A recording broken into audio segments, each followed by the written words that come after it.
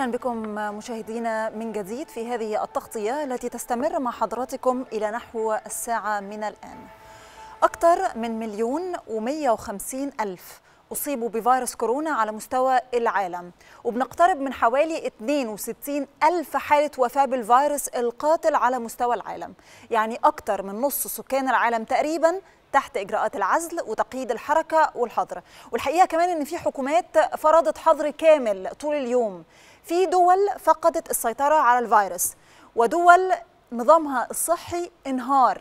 ودول كمان اقتصاداتها معرضة للانهيار. والحقيقة إحنا مش بنتكلم عن أي دول إحنا بنتكلم عن دول بتعتبر من أعظم الاقتصاديات في العالم. لو كنا بنتحدث مع حضراتكم عن إسبانيا بريطانيا ألمانيا الولايات المتحدة الأمريكية ده غير طبعا إن في ملايين مهددين بفقدان وظائفهم. ده غير إن في شبح آخر وهو شبح أزمة غذائية بيهدد العالم كله. مخاطر كارثية دخلتها الدول اللي للأسف شعوبها استهترت في البداية بإجراءات الوقاية من فيروس كورونا المستجد. يمكن كان في شعرة بسيطة بين النجاح ومواجهة الفيروس أو السقوط وفقدان آلاف آلاف الضحايا بسبب الاستهتار. النهاردة الحكومات في العالم بتقوم الحقيقة بما عليها لمواجهة الفيروس. ولكن الموضوع أصبح خارج عن السيطرة. في بلاد دلوقتي بنشوفها بتختار مين يكون في المستشفى مين يتعالج ومين يسيبوه يموت النهارده كمان كان في كلام ظهر الحقيقة إن في توابيت لم تعد تكفيها دور الجنازات فامتلأت بها كنائس أوروبا وشاحنات الولايات المتحدة الأمريكية. في مصر يجب علينا إن إحنا نبص إلى دول أخرى زي إيطاليا، إسبانيا، الولايات المتحدة دول متقدمة بتقود العالم لكنها تقريبا بتنهار أمام هذا الفيروس. وبالتالي الرهان الحقيقي هو الرهان على الشعب وعلى وعي الشعب. اللي الحكومة المصرية صراحة رهنت عليه منذ بداية هذه الأزمة وقالت إحنا عندنا شعب بيعمل العجب شعب دايما بيبهر العالم. دايما هذا الشعب بيكون محط الأنظار وبالتالي هو قادر على تخطي هذه الأزمة. وكان الخيار إما إن حضرتك تلتزم ونقدر إن إحنا نتجاوز المحنة سويا أو الخيار الآخر وهو الخيار الأسوأ إن إحنا نتواصل في السير في هذه السيناريوهات ونصل إلى ما يحمد عقباه. كل العالم كل الشعوب اللي احست بخطورة الاستهتار بالإجراءات بتقول ببساطة شديدة خليك في البيت. لكن للأسف بنشوف صور مستحيلة وصور قمة في الاستخفاف والاستهتار لا زالت قائمة. رغم إن إحنا بنتكلم يعني عن إصابات بالملايين في العالم ووفيات بعشرات الآلاف وبنقول إن أكتر من نص سكان العالم تحت إجراءات استثنائية بسبب فيروس كورونا. من وجهة نظري المتواضعة إن إحنا يعني بنتعامل مع مرض أو فيروس زي ما بيقولوا كده هو عزيز النفس. مستحيل يجي لحضرتك إلا لو حضرتك فتحت له بيتك ودخلته لكن لو حضرتك فضلت في بيتك قافل على نفسك مستحيل إن هو يوصل لك. إحنا في حرب ولكن حرب صامتة حرب غير تقليدية حرب على فيروس غير مرئي والمفروض إن إحنا كلنا جنود في هذه الحرب. المفروض إن كل واحد ياخد مكانه في هذه المعركة وفي هذه الحرب. والحقيقة إن مكان حضرتك معروف مكان حضرتك ببساطة هو البيت. مش عايزين نكون زي الدول الأخرى عشان احتمال لو وصلنا لهذه المرحلة الحقيقة احتمال نقف عاجزين عن التصرف لأن إحنا 100 مليون مصري. وإما أن نجتمع الآن ونفترق عاجلا أو نفترق الآن ونجتمع عاجلا. إما إن إحنا نقعد في البيت وسط أحبابنا وأهالينا الأيام اللي جاية أو إن إحنا نقضي الباقي من حياتنا في المستشفيات وللأسف كمان مش هنلاقي حد يقرب منا عشان يودعنا. الحقيقة إن الاقتصاد العالمي بيبدو إنه من الصعب إن هو يعود إلى ما قبل كورونا. ولعل أبرز مثال في هذا الصدد يأتينا من الولايات المتحدة الأمريكية. أظهرت بيانات أن الاقتصاد الأمريكي فقد أكثر من 700 ألف وظيفة خلال مارس. على الصعيد العالمي بتشير تقارير عدة بأن ملايين مهددون بفقدان الوظائف وأشهرهم أسبانيا اللي فقد فيها نحو 900 ألف وظيفتهم في حين أن أوروبا كلها فقدت 2 مليون وظيفة نهاية الأسبوع الماضي. خلينا طيب نناقش هذا الموضوع بشكل أكثر تفصيلا مع الكاتب الصحفي الدكتور محمد أبو الحسن مدير تحرير الأهرام. أهلا بحضرتك يا فندم. أهلا بحضرتك يعني وتحياتي لكل مشاهديك طيب خليني أعرف من حضرتك يا فندم يعني إلى أي مدى برأيك العالم بيدفع ثمن الاستهتار؟ يكفي أن ننظر إلى يعني خريطة العالم في اللحظة الراهنة لكي نكتشف أن العالم يخوض حرب مع عدو خفي وأن وسيلة العالم في هذه الحرب هي الهروب هي الهروب من أجل النجاة. تحول العالم كله إلى ما يشبه معزل كبير وبعد أن تلقى ضربة مباغته من كائن أو من فجوس جرثومه غامضة لا ترى بالعين المجردة تحول العالم معها إلى أن يكون اداته الأولى والأساسية كما تفضلت هي البقاء في المنزل وعدم المخالطة، ليه؟ لأن الناس بأنفسهم من الممكن أن يتحولوا لجنود لهذا الفيروس، يعني يصبحوا آلات للعدوى وتتوقف حرية الإنسان في هذه اللحظة عند حدود حرياته البيولوجية. آه الإنسانية تدفع ثمنا آه كبيرا لفكرة آه التقدم في هذه اللحظة بمعنى إنه ليس جديدا على البشرية أن تتعرض لأوبئة على مدى المئات السنين خاصة في الالفيه الأخيرة كان هناك درس مهم جدا تعرضت له البشرية ربما في عام 1918 مع الإنفلونزا الأسبانية ومع في القرن الرابع عشر مع الطاعون حيث كان لهذا الحدث الذي أفضى في القرن الرابع عشر إلى ثناء ودمار تقريبا ثلث البشرية نتائج بالغة التأثير على المستوى السياسي وعلى المستوى الاقتصادي وعلى المستوى الفكري وعلى مستوى شكل العالم وموازين القوى فيه. بمعنى إنه تحولت أوروبا التي كانت تعادي الدين في ذلك في تلك اللحظة إلى بعد أن تلقت طعنه الطاعون أو الجائحة إلى أن تراجع الدور السياسي لرجال الدين والكنيسة لعجزهم عن حماية الأرواح. وتشكلت الدولة الحديثة بأجهزتها المعروفة في الحماية كأجهزة الشرطة والحكم على النمط نعم. المدني وتفجر طيب دكتور محمد أنا بعتذر عذرا شديدا عن المقاطعة ولكن إذا سمحت لي أن نذهب الآن لمتابعة هذا المؤتمر الصحفي للاردن وتحديدا لرصد آخر مستجدات تفشي فيروس كورونا هناك. نتابع. والضباط المناوبين الذين لم يغادروا مواقع عملهم منذ فترة طويلة وغلبوا مصلحة وطنهم وسلامة أبنائه على راحتهم وعلى رؤية أبنائهم وعوائلهم. فلمثل هؤلاء ننحني وواجبنا أن نقدر جهدهم العظيم. اليوم كذلك وضمن سلسلة الاجتماعات التي يعقدها دولة رئيس الوزراء الدكتور عمر الرزاز مع مختلف القطاعات للتعامل مع تداعيات وباء كورونا عقد اجتماع بتقنية الاتصال المرئي ضم ممثلين عن الغرف الصناعية والتجارية. ناقش الاجتماع مجموعة من الإجراءات والقرارات لحماية القطاع الخاص والمحافظة على الأمن الوظيفي للعاملين فيه والحد من الأضرار المترتبة عليهم جراء هذه الأزمة. ستستمر اللجان المعنية في التعاون وعقد اجتماعاتها بشكل مكثف خلال الفترة المقبلة للخروج بتوصيات وحلول للإبقاء على الحد الأدنى من العمل في القطاع الخاص وضمان ديمومته وبالتالي الحفاظ على الأمن الوظيفي للعاملين فيه. سنعلن خلال الأيام المقبلة عن سلسلة من الإجراءات والقرارات التي سنخرج بها للتخفيف من الآثار المترتبة على القطاع الخاص.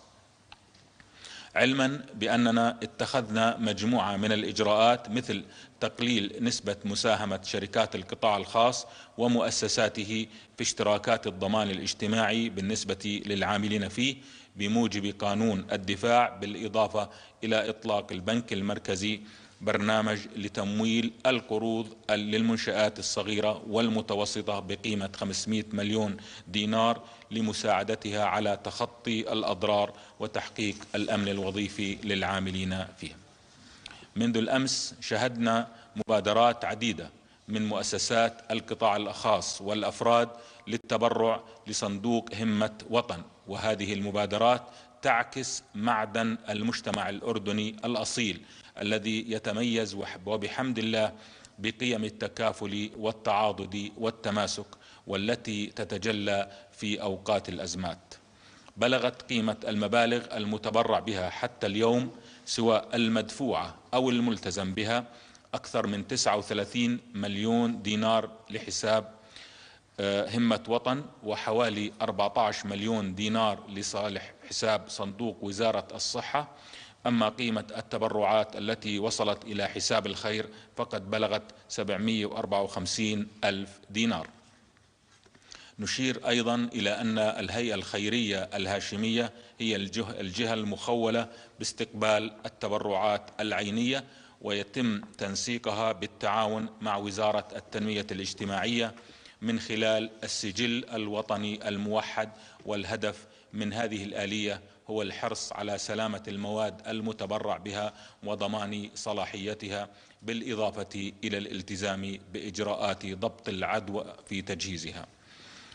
وردتنا مجموعة من الاستفسارات حول آلية تنقل الصيادلة فإن حركة العاملين منهم في المستشفيات الخاصة والحكومية والصيدليات الخاصة يكون تنقلهم بواسطة بطاقة نقابة الصيادلة.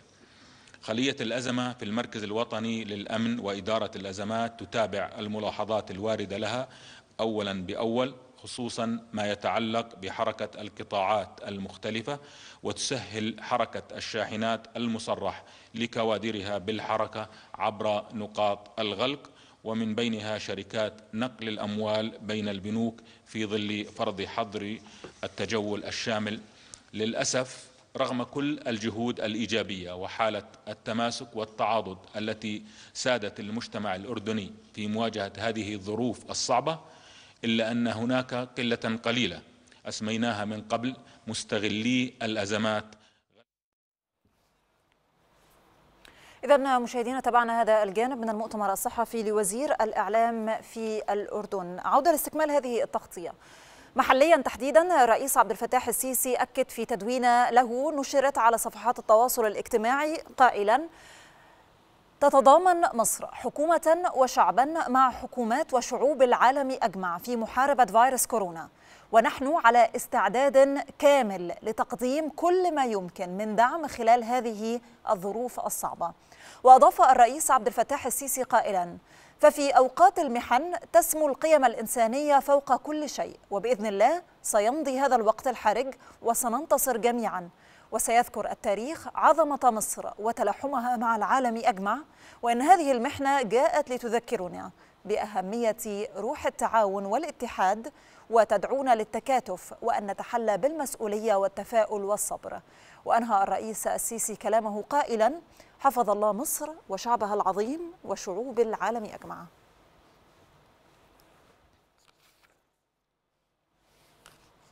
في سياق آخر قال السفير بسام راضي المتحدث باسم رئاسة الجمهورية أنه في إطار الدعم والتضامن مع الدول الصديقة وطبقا لتوجيهات السيد الرئيس عبد الفتاح السيسي رئيس الجمهورية قامت القوات المسلحة بإعداد وتجهيز طائرتين عسكريتين تحملان كميات من المستلزمات الطبية والبدل الواقية ومواد التطهير مقدمة من مصر إلى إيطاليا وذلك في إطار العلاقات والروابط التاريخية التي تجمع بين الدولتين الصديقتين. وهو ما سيساهم في تخفيف العبء عن دولة إيطاليا في محنتها الحالية خاصة في ظل النقص الحاد لديها في الأدوية والمستلزمات الطبية وأدوات الوقاية والحماية خاصة مع سرعة انتشار فيروس كورونا وارتفاع معدل الإصابات والوفيات في إيطاليا. هذا وأكدت رئاسة الجمهورية أن تلك المساعدات تأتي انطلاقا من دور مصر الرائد تجاه الدول الصديقة في مختلف دول العالم وتقديم الدعم والتضامن الدائم في أوقات المحن والأزمات. يعني يمكن الأزمات الطارئة هي اللي بتكشف معادن الشعوب الأصيلة. النهاردة السيد الرئيس عبد الفتاح السيسي تحدث وقال إنه تم تقديم الدعم إلى الدول الصديقة والشقيقة وأكد أيضا على الحديث سيادة السفير بسام راضي المتحدث باسم رئاسه الجمهورية إنه مصر قامت بتقديم عدد من المساعدات للعديد من الدول. على كل حال إحنا معانا فيديو الآن عن هذه المساعدات التي قامت مصر بإرسالها إلى عدد من الدول الشقيقة لمساعدتهم أيضا في تحدي وتخطي هذه المحنة.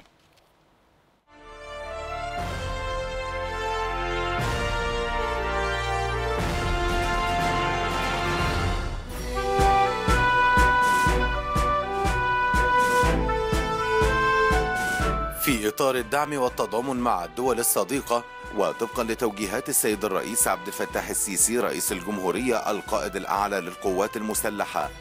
قامت القوات المسلحة بإعداد وتجهيز طائرتين عسكريتين تحملان كميات من المستلزمات الطبية والبدل الواقية ومواد التطهير مقدمة من مصر إلى إيطاليا. وذلك في إطار العلاقات والروابط التاريخية التي تجمع بين الدولتين الصديقتين. وهو ما سيساهم في تخفيف العبء عن دولة إيطاليا في محنتها الحالية خاصة في ظل النقص الحاد لديها في الأدوية والمستلزمات الطبية وأدوات الوقاية والحماية. خاصة مع سرعة انتشار فيروس كورونا وارتفاع معدل الإصابات والوفيات في إيطاليا.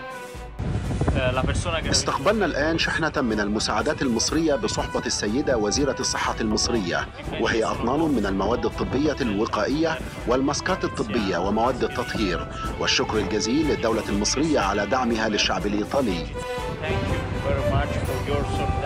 تأتي تلك المساعدات انطلاقا من دور مصر الرائد تجاه الدول الصديقة في مختلف أنحاء العالم وتقديم الدعم والتضامن الدائم في أوقات المحن والأزمات.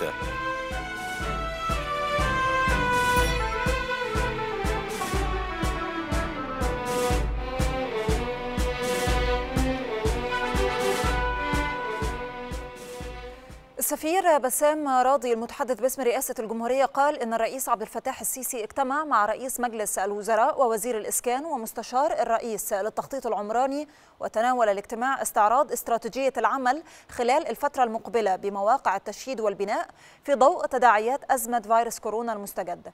هذا ووجه السيد الرئيس بتأجيل فعاليات وافتتاحات المشروعات القومية الكبرى التي كان من المفترض القيام بها خلال العام الحالي 2020 إلى العام القادم 2021 بما في ذلك الانتقال إلى العاصمة الإدارية الجديدة. وكذلك افتتاح المتحف المصري الكبير ومتحف الحضارة المصرية. وذلك نظرا لظروف وتداعيات عملية مكافحة انتشار فيروس كورونا المستجد سواء كان على المستوى الوطني أو العالمي. كما وجه السيد الرئيس بتطبيق أعلى درجات الوقاية وتوفير مقتضيات الأمان والرعاية الصحية للعاملين بمواقع المشروعات والحفاظ على سلامتهم والوقوف على الاحتياجات الصحية الميدانية المطلوبة لهم.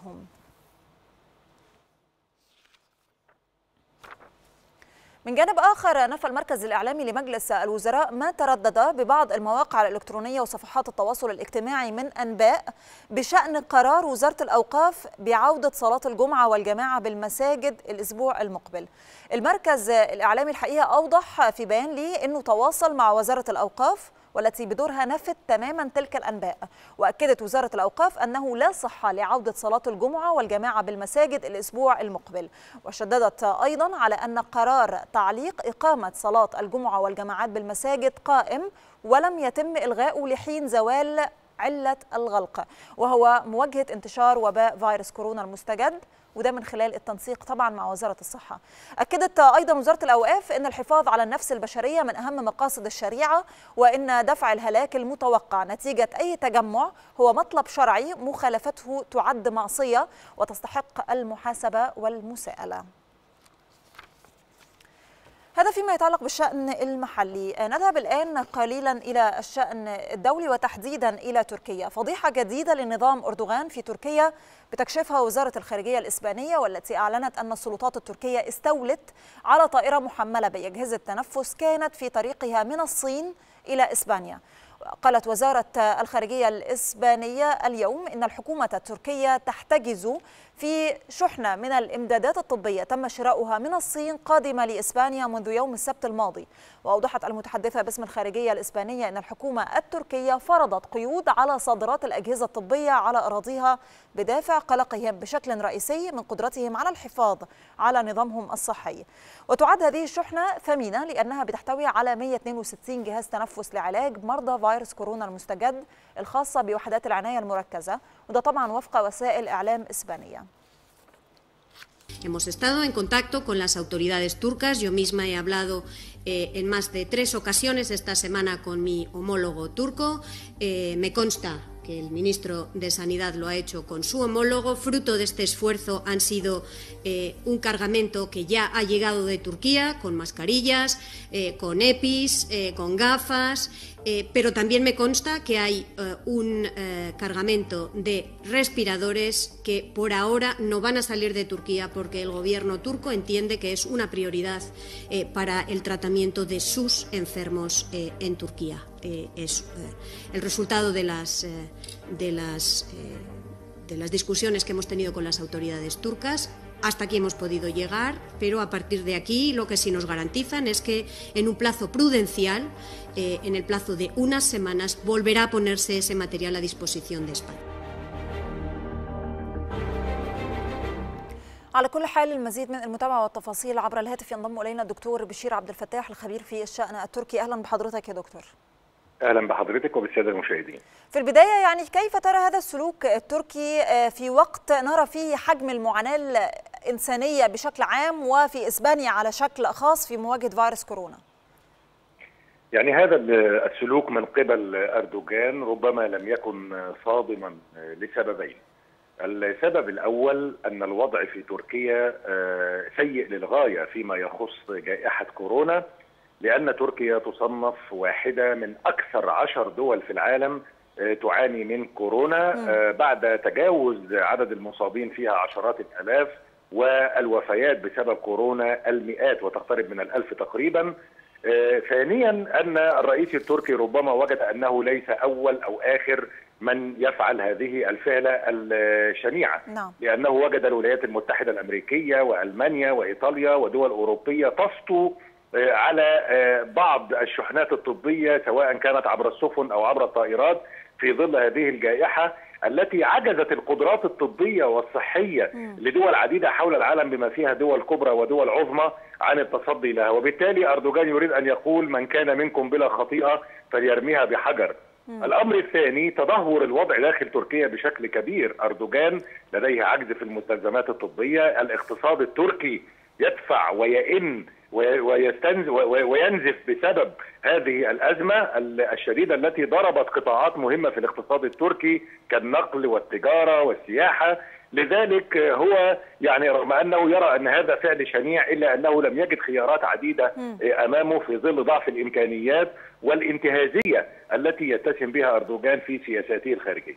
هل يا فندم يعني الاستيلاء على هذه الشحنة بيأتي لعجز المواد الصحية أو الأجهزة الصحية في الداخل التركي أو في شكل آخر البعض بيقول إنه ابتزاز أوروبي آخر يقوم به اردوغان؟ ظني إنه أردوغان لجأ إلى هذا الفعل بالأساس في محاولة لسد النقص في أجهزة التنفس الاصطناعي لأن هناك أزمة عالمية في هذا القطاع حتى أن بعض الشركات شركات الأسلحة، شركات المعدات الكهربائية والنقل خصصت خطوط إنتاج لإنتاج مثل هذا النوع من أجهزة التنفس الاصطناعي، فهو اولا يسد عجز في الداخل التركي، ثانيا هو يريد أن يبعث برسالة إلى الدول الأوروبية التي تخلت عنه في مواقف عديدة بأنه بحاجة إلى الدعم والمساندة وهناك اتفاقات تربطه بتركيا تجاريا واقتصاديا وثقافيا تملي عليها تقديم الدعم له. لذلك هو أراد أن يقول أنه من مستحق الدعم خصوصا أنه دأب في الأيام الأولى للأزمة على الإنكار والتعتيم والنفي بأن تركيا بها حالات بينما هي الآن واحدة من أكبر عشر دول تعاني من كورونا.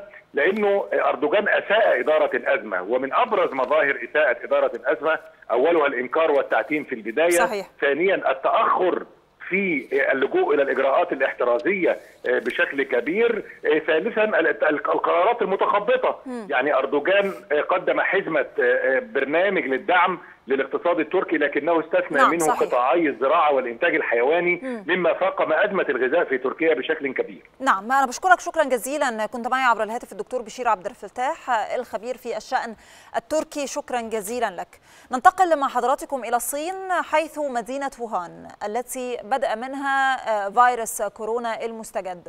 الصين التي كان لديها قدرة كبيرة على مواجهة الفيروس لكن كل هذا من الممكن أن نتابعه من خلال التقارير الصحفية التي ظهرت مؤخرا أنها أكدت على الرغم من أن ما حققته الصين من نجاح فيروس كورونا ذلك كان مرتبطا بالأساس بدرجة الالتزام الشعبي لدى المواطنين وعزيمتهم وتعاونهم مع السلطات.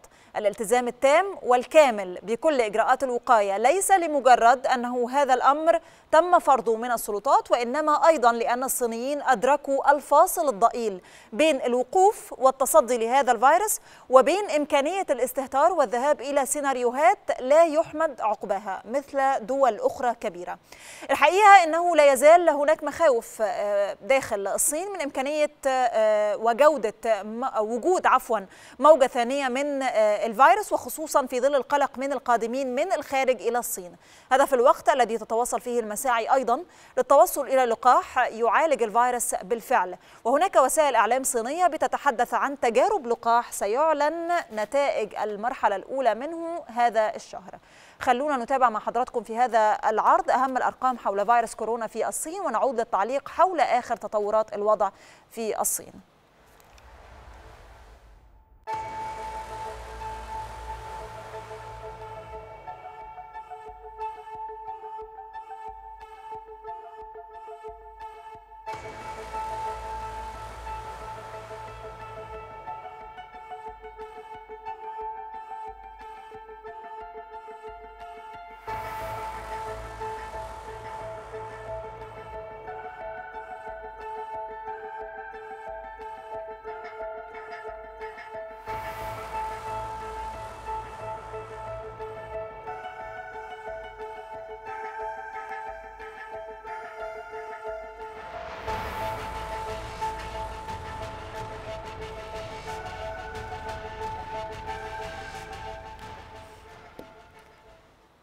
للتعليق ينضم إلينا الآن عبر سكايب من العاصمة الصينية بكين الاعلامي الصيني نادر رونج. أهلا بحضرتك يا فندم.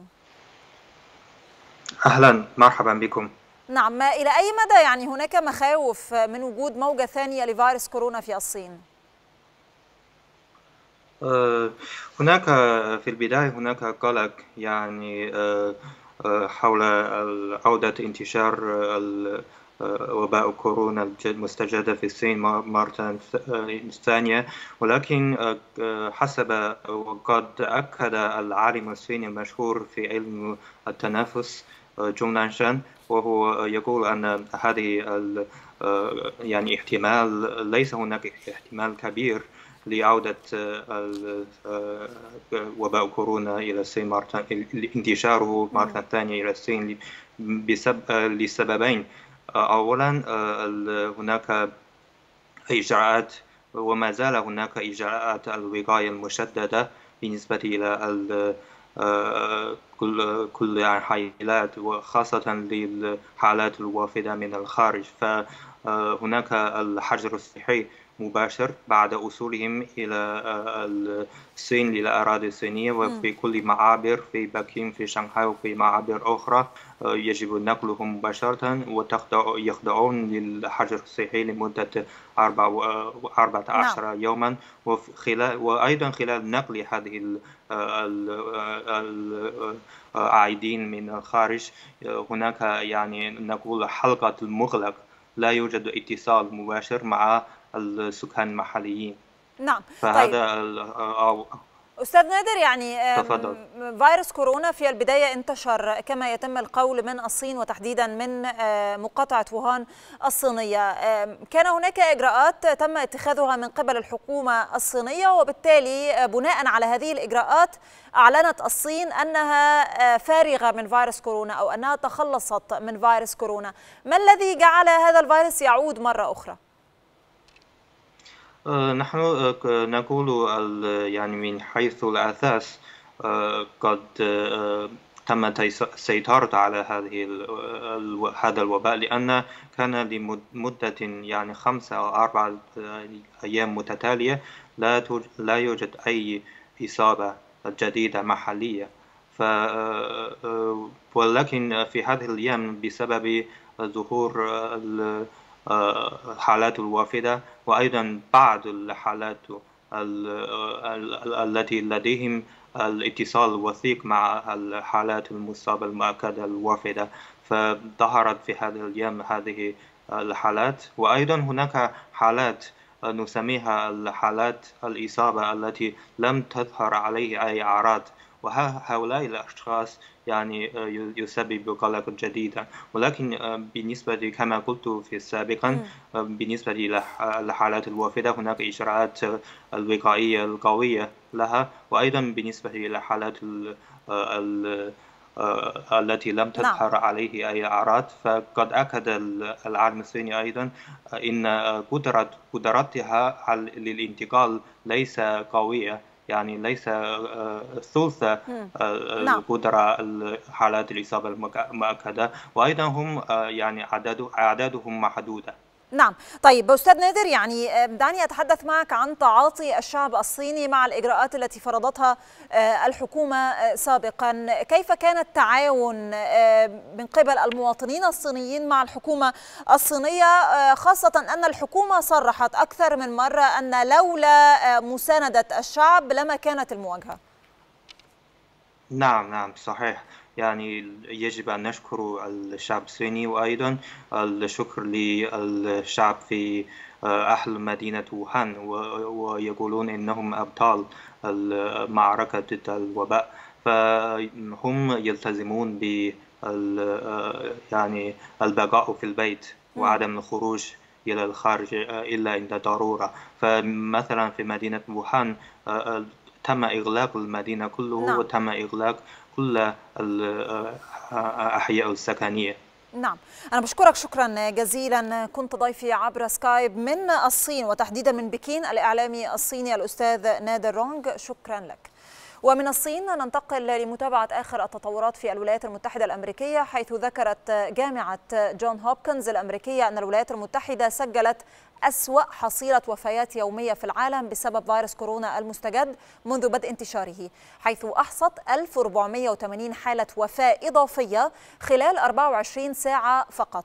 ما يرفع عدد الوفيات في البلاد إلى 7406 حالات. ووفق توقعات البيت الأبيض يتوقع أن يؤدي فيروس كورونا بحياة ما بين 100 و 240 ألف شخص في الولايات المتحدة الأمريكية. ويمكن الرئيس الأمريكي دونالد ترامب الحقيقة كان أعلن مساء أمس توصية حكومية جديدة لجميع الأمريكيين بتتمثل بارتداء كمامات لدى خروجهم إلى الأماكن العامة وذلك في محاولة لمنع انتشار فيروس كورونا المستجد. هذا بيأتي في الوقت الذي فقدت فيه سوق العمل الأمريكية 701 ألف وظيفة خلال مارس الماضي ليرتفع معدل البطالة الرسمي إلى 4.4 مقابل 3.5% خلال الشهر السابق خصوصا في ظل انتشار فيروس كورونا المستجد.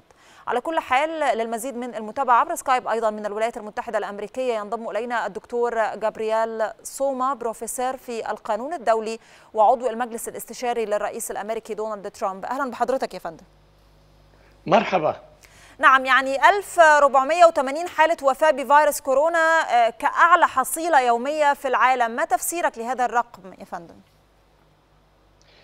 كما تعلمين نيويورك هي تقريبا حوالي نصف الوفيات هي في نيويورك مدينة نيويورك نيويورك هي المدخل إلى الولايات المتحدة. عندما يسافر شخص إلى الولايات المتحدة أولا ينزل في كندي airport ومن هناك يذهب إلى الولايات الأخرى كاليفورنيا شيكاغو whatever it is. So لهذا السبب هناك عدد كبير من الإصابات في نيويورك وعدد كبير من الوفيات أيضا في نيويورك. أضف إلى ذلك بأن هذا الوباء لم يكن أحد يتوقعه. يعني مهما كان عدد المستشفيات في في الولايات المتحدة وهناك عدد كبير من المستشفيات ومهما كان هناك من أشياء للطبابة فهذا الوباء الرديء الذي حصل في جميع أنحاء العالم يعني ليس نعم. بإمكان أي دولة أن تحضر لمسألة من هذا النوع. أم دكتور جابرييل يعني هل لك أن تحدثني عن التزام المواطن الأمريكي؟ هل هناك التزام من المواطنين الأمريكيين بشأن إجراءات الوقاية في الولايات المتحدة؟ هناك التزام كبير في الولايات المتحدة أنا أنا أسكن في نيوجيرسي في في منطقة حول حولنا في حوالي 150 بيت. السيارات كلها معباية بالباركينج لوت يعني ما حدا يغادر بيته. حتى حتى ابتداء من اليوم سوف نتوقف عن الذهاب إلى للتسويق. نعم. عادة كنت أتسوق مرة في الأسبوع هذا الأسبوع توقفنا عن ذلك أيضا نعم توقفتم بناء على يعني إجراءات تم فرضها من الحكومة الأمريكية أم يعني كمساندة من الشعب الأمريكي للحكومة؟ أظن الشعب الأمريكي يتعاطى مع يعني يطيع قرارات الحكومة الأمريكية يحترمها وهذا ما يحصل. يعني ليس هناك يعني ممكن ممكن أن تسوق السيارة وتذهبي للتسويق ولكن لا تجدين شيء أحدا في الشوارع. نعم. طيب هل سيكون هناك إجراءات أكثر تشددا؟ يعني كون أن الأرقام ربما التي يتم الإفصاح عنها في الولايات المتحدة الأمريكية تزيد يوما عن يوم. يا ممكن تشديد ذلك. عندما سئل الرئيس ترامب البارحة عما إذا كان سوف يأمر الولايات بأكملها بأن تسكر كومبليتلي قال سوف أترك ذلك للجفرنرز لحكام هذه الولايات. عندنا 50 جفرنر 50 ولاية. كل جفرنر يحكم بما يراه مناسبا. إلى الآن نيويورك لم تسكر تماما. تجدين يعني الناس نعم. بعد في الشوارع ولكن بعدد قليل قليل قليل جدا. نعم هل لي نتحدث معك دكتور جابرييل يعني عن الاقتصاد. يعني ربما نتحدث في هذه الفترة على أن أعظم الاقتصاديات في العالم في طريقها ربما إلى التدني إذا صح القول عن مستواها يعني الذي كان معمول به. ماذا عن الولايات المتحدة الأمريكية خاصة أن إحنا تابعنا في الأيام الماضية أن كان هناك مطالبات بحزم يعني ليتم بها المساعدة؟ الولايات المتحدة لحسن الحظ هي بلد يعني غنية واقتصاد غني. الدخل القومي في الولايات المتحدة هو أكبر دخل في العالم. يبلغ حوالي 21 إلى 22 تريليون دولار. فيما الصين يبلغ حوالي 11 12 روسيا 1.2 ولكن هناك دول فقيرة جدا سوف تتأثر كثير في هذا الأمر. الولايات المتحدة سوف تصرف حوالي 6 تريليونات دولار لمساعدة الشركات الأمريكية التي تعطلت عن العمل مثل شركات الطيران مثل الشركات الأخرى. وكذلك سوف تساعد العمال. يعني كل عامل في الولايات المتحدة سوف يصله شيك من الحكومة الأمريكية. نعم. أخيرا دكتور جابرييل يعني فيما يتعلق بسوق العمل الأمريكي الأقاويل تقول أن تم فقدان 701 ألف وظيفة خلال مارس الماضي. إلى أي مدى ذلك يرتبط يعني بتطورات فيروس كورونا؟ وهذا مرتبط جدا بفيروس كورونا. قبل شهر كان معدل البطالة في أمريكا 3.5% وكان أدنى مستوى له منذ حوالي 60 سنة. تغير الوضع في اليوم الذي حصل فيه هذا الوباء جاءنا هذا الوباء إلى إلى أمريكا. اليوم يوجد حوالي سبعة ملايين أمريكي عاطل عن العمل. يعني حوالي 30% من البطالة اليوم في في أمريكا. نعم. لذلك لذلك قرر الكونغرس بموافقة الرئيس على على يعني تيسير الأمور وإعطاء الشركات الأموال اللازمة لكي تستطيع أن تبقى ولا ولا تعلن افلاسها وكذلك وكذلك أعطى مجال للشعب الأمريكي لكي تصله الأموال اللازمة لكي يدفع الايجار لكي يدفع صحيح. يقوم بالمسؤوليات طيب. المتطلبة دكتور جابرييل إذا سمحت لي في هذا السؤال يعني هناك تنافس بين الدول يعني دعني أقول تنافس إيجابي وفي قطار سريع الكل يتسابق لأن يجد لقاح لفيروس كورونا المستجد الولايات المتحدة الأمريكية أيضا في الفترة الماضية أعلنت أنها تقوم بعمل يعني تجارب سريرية وتجارب معمليه لإيجاد أو محاولة لإيجاد هذا اللقاح. إلى أين وصلت؟ يعني إن كان لديك معلومة إلى أين وصلت هذه التجارب؟ التجارب تجري حاليا على قدم وساق. هناك شركه موديرنا تعمل على vaccine على لقاح لهذا الأمر. وكذلك شركة جونسون آند جونسون وهي من أكبر شركات العالم هذا بالإضافة إلى إلى عدد كبير من المختبرات في الولايات المتحدة وال pharmaceutical companies التي تعمل على إيجاد لقاح لهذا الأمر. وكذلك هناك أدوية موجودة في السوق في الوقت الحاضر كانت تساعد على مساعدة المرضى في عدة مشاكل صحية يمكن استعمالها في الوقت الحاضر وتجري التجارب في الوقت الحاضر. أما بالنسبة لل vaccine فأعتقد أنه في في خلال نعم. أقل من سنة سوف يكون متوافرا في الأسواق. نعم أنا بشكرك شكرا جزيلا كنت ضيفي عبر سكايب الدكتور جابرييل سوما بروفيسور في القانون الدولي وعضو المجلس الاستشاري للرئيس الأمريكي دونالد ترامب شكرا جزيلا لك. طيب خلينا نذهب إلى بيان وزارة الصحة البيان المنتظر كل يوم من قبل الشعب المصري وزارة الصحة والسكان أعلنت اليوم السبت عن خروج 25 حالة من المصابين بفيروس كورونا من مستشفى العزل. بينهم ثلاث أجانب. وذلك بعد تلقيهم الرعاية الطبية اللازمة وتمام شفائهم وفقا لإرشادات منظمة الصحة العالمية. ليرتفع إجمالي المتعافين من الفيروس إلى 241 حالة حتى اليوم.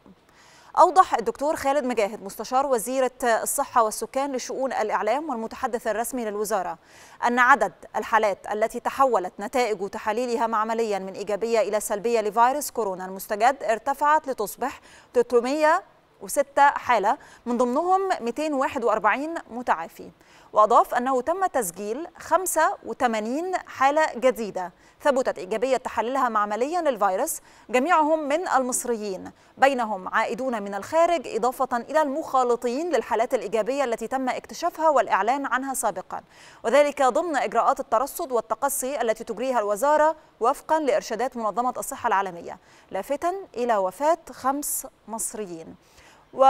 وقال مجاهد إن جميع الحالات المسجل إيجابيتها للفيروس بمستشفيات العزل بتخضع للرعاية الطبية وفقا لإرشادات منظمة الصحة العالمية. وذكر مجاهد أيضا أن إجمالي العدد الذي تم تسجيله في مصر بفيروس كورونا المستجد حتى الآن السبت هو 1070 حالة من ضمنهم 241 حالة تم شفائها وخرجت من مستشفى العزل و71 حالة وفاة.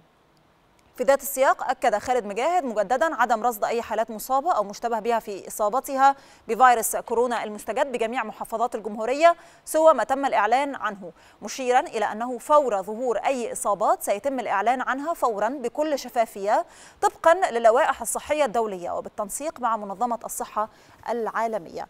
هذا وتواصل وزارة الصحة والسكان رفع استعداداتها بجميع المحافظات ومتابعة الموقف أول بأول بشأن فيروس كورونا المستجد واتخاذ كافة الإجراءات الوقائية اللازمة ضد أي فيروسات أو أمراض معدية كما تم تخصيص الخط الساخن 105 و15 335 لتلقي استفسارات المواطنين بشأن فيروس كورونا المستجد والأمراض المعدية. إذا تم الكشف تحديدا عن 85 إصابة جديدة لفيروس كورونا. العدد الإجمالي أصبح 1070 إصابة داخل مصر. مرة أخرى مشاهدينا ألقي لحضراتكم بيان وزارة الصحة والسكان النهاردة السبت أعلنت وزارة الصحة والسكان اليوم عن خروج 25 حالة من المصابين بفيروس كورونا من مستشفى العزل. بينهم ثلاث أجانب وذلك بعد تلقيهم الرعاية الطبية اللازمة وتمام شفائهم وفقا لإرشادات منظمة الصحة العالمية. ليرتفع إجمالي المتعافين من الفيروس إلى 241 حالة حتى اليوم. هذا وأوضح الدكتور خالد مجاهد مستشار وزيرة الصحة والسكان لشؤون الإعلام والمتحدث الرسمي للوزارة أن عدد الحالات التي تحولت نتائج تحاليلها معمليا من إيجابية إلى سلبية لفيروس كورونا ارتفعت لتصبح 306 حالة. من ضمنهم 241 متعافي. وأضاف أيضا أنه تم تسجيل 85 حالة جديدة ثبتت إيجابية تحليلها معمليا للفيروس. جميعهم من المصريين بينهم عائدين من الخارج. إضافة إلى المخالطين للحالات الإيجابية التي تم اكتشافها والإعلان عنها سابقا. وذلك ضمن إجراءات الترصد والتقصي التي تجريها الوزارة وفقا لإرشادات منظمة الصحة العالمية. لافتا إلى وفاة خمس مصريين. قال أيضا خالد مجاهد إن جميع الحالات المسجل إيجابيتها للفيروس بمستشفيات العزل بتخضع للرعاية الطبية وفقا لإرشادات منظمة الصحة العالمية. وذكر مجاهد أن إجمالي العدد الذي تم تسجيله في مصر بفيروس كورونا المستجد حتى اليوم السبت هو 1070 حالة من ضمنهم 241 حالة تم شفائها بالفعل وخرجت من مستشفيات العزل و71 حالة وفاة. هذا وأكد مجاهد مجددا عدم رصد أي حالات مصابة أو مشتبه في إصابتها بفيروس كورونا المستجد بجميع محافظات الجمهورية سوى ما تم الإعلان عنه مشيرا إلى أنه فور ظهور أي إصابات سيتم الإعلان عنها فورا بكل شفافية طبقا للوائح الصحية الدولية وبالتنسيق مع منظمة الصحة العالمية. هذا وتواصل وزارة الصحة والسكان رفع استعداداتها بجميع المحافظات ومتابعة الموقف أول بأول بشأن فيروس كورونا المستجد واتخاذ كافة الإجراءات الوقائية اللازمة ضد أي فيروسات أو أمراض معدية كما تم تخصيص الخط الساخن 105 و15 335 لتلقي استفسارات المواطنين بشأن فيروس كورونا المستجد والأمراض المعدية.